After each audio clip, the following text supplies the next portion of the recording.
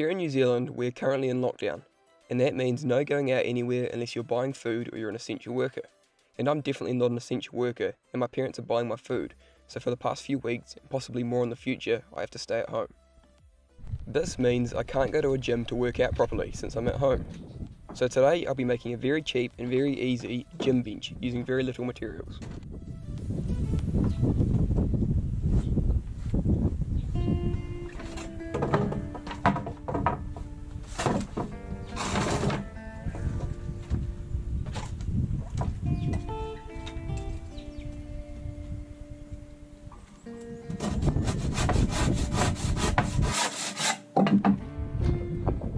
I started by cutting two even planks just longer than my back that would be the main beam and the backbone holding this thing together.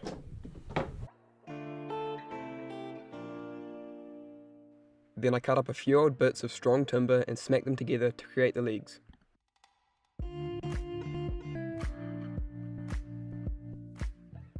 I also screwed those two support beams together.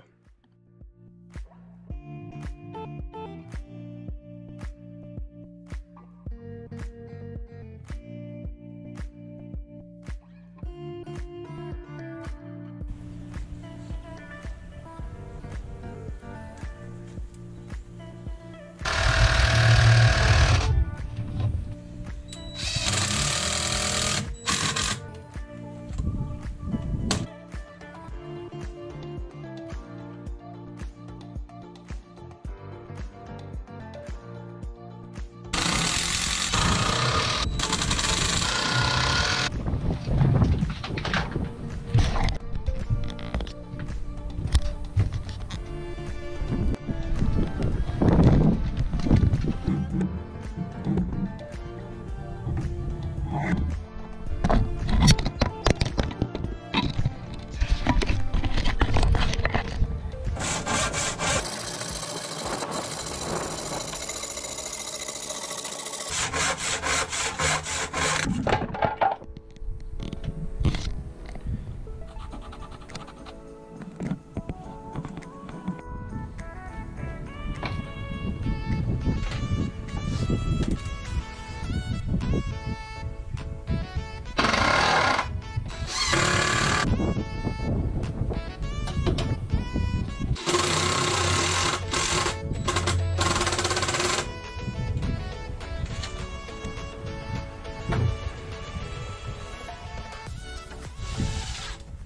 After attaching the actual bench with a hinge, I worked on the adjusting part. In order to allow me to work at different angles, I had to create some sort of mechanism that allowed the back to move but still be super strong. So I made these two arms with a dowel going through it that would slot into these notches that I'd cut out later.